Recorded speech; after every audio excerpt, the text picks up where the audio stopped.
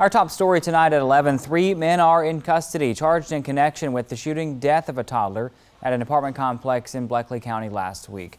Damon Lemon, Jaquise Finley, and Kamal Paz Pasby were arrested after two-year-old Yasir Satterwhite was killed at Deer Run Apartments in Cochran. Lemon faces multiple charges, including felony murder. Finley and Pasby are charged with party to the crime of murder and party to the crime of aggravated assault. The Bleckley County Sheriff's Office says more charges are pending.